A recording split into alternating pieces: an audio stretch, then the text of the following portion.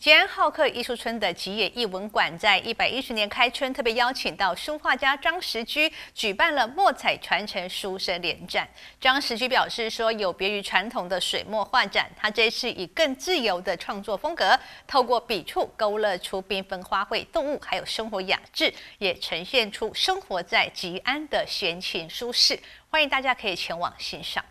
吉安好客艺术村吉野艺文馆在一百一十年开春，特别邀请到书画家张石居举办墨彩传承师生联展。张石居表示，有别于传统的水墨画，这一次以更自由的创作风格，透过笔触勾勒出缤纷花卉、动物，还有生活雅致，呈现出吉安乡的闲情舒适。这一次展览是差不多有三十幅的作品，由我跟学生。合起来主办的。一般讲说画画这个国画呢，大部分都是指定说哎水墨画，就是画山水的啦哈。这个像这个呃大陆的那些好的这个风景色来表现出来，哎会比较比较这个呃能够吸引这个观众。那如果说吉祥乡这边，我们这个有一些是我们讲画画这个花卉，画花卉啦，啊，或者是一些呃羚羊、鸟类，啊，还有一些动物的，那么比较适合于我们吉安乡的一个生活上的一个形态。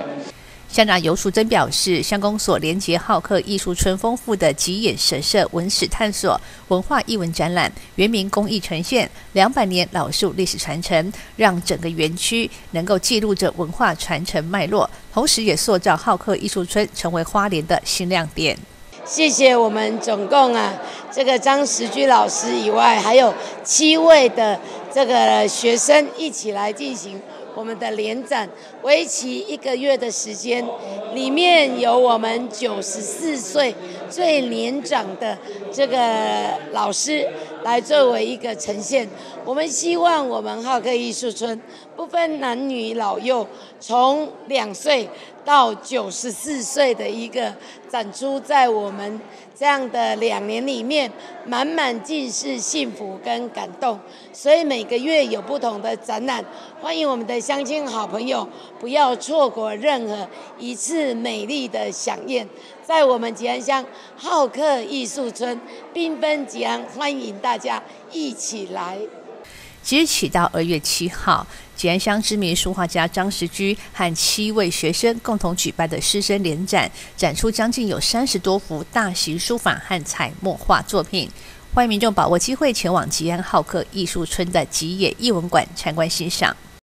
张石居老师师生联展，欢迎大家一起来！耶！记者徐立群吉安乡报道。